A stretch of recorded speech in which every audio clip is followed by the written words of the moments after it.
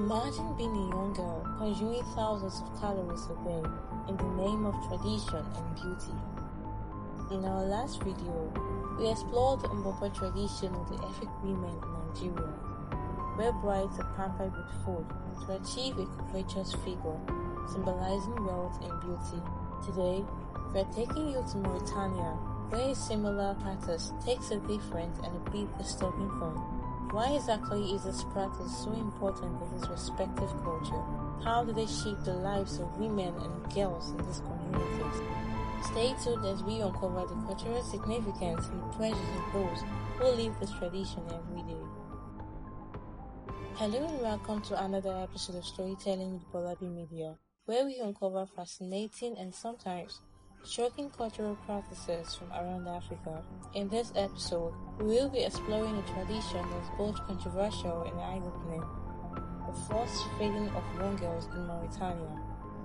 If you are fascinated by this controversial practice that has been a part of Mauritanian culture for generations as we are, please hit that subscribe button. Done? Then we can move on. In Mauritania, a country in West Africa, Beauty standards are drastically different from what many of us might be used to. A larger body size here is seen as a sign of wealth, fertility, and prosperity. This belief has given rise to a practice known as Leblouh, or force feeding.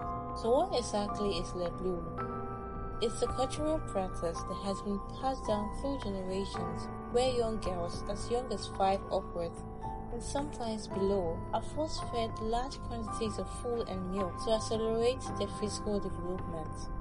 The goal? To make them appear more mature, beautiful, and thus eligible for marriage at a young age.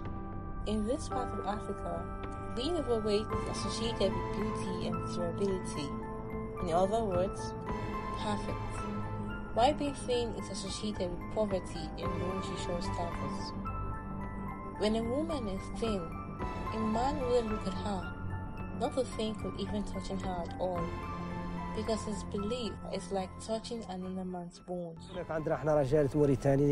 Parents, especially mothers, often take it upon themselves to ensure their daughters meet the societal expectations, convinced that there is no other better way to ensure the future of their daughters. The force-feeding process involves strict schedules of the consumption of large amounts of rich food like basi, a drink made with camel's milk and millet, Give it to them in the morning and throughout the day.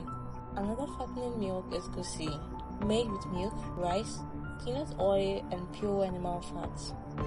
The girls try to avoid this by crying or vomiting, pain is inflicted on them by pressing their toes or wrists between two canes.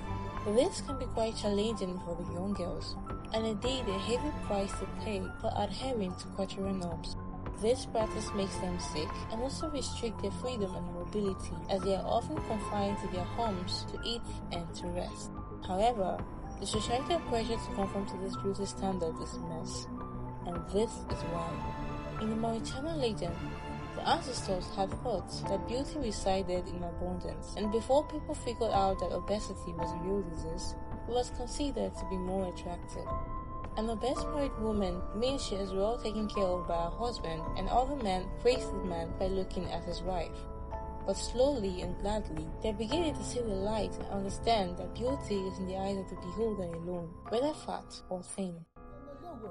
وخر صلاني ما اللي بجسم هذا الزمن التالي عاد عنده دور انا ما ما حضرت فيه لا نعرف لك ما نعرف لك في الدور الثاني الدور الاول Beauty of cultural diversity lies in understanding and respecting the different ways people find meaning and purpose in their lives, while also advocating for the well-being of all individuals, especially the most vulnerable. In reality, changing deeply ingrained cultural practices is never easy. But as the world becomes more connected, there is hope that awareness and education can bring about positive change. In Mauritania today, more people are getting educated, and it's very rare to hear of families force their daughters to become best. Did this teach you something about seeing beauty beyond appearance? Let's be honest. Our perception of beauty is shaped by our context. Just like these Mauritanian models, we are influenced by societal standards. Ours just happen to be driven by the social media's definition of beauty and acceptance. But true beauty lies in embracing our individuality and letting our inner qualities shine rather than conforming to others' opinions. If you found this video insightful, please like, share, and subscribe to Bolabi Media for more fascinating stories. Thank you for watching and see you in the next episode.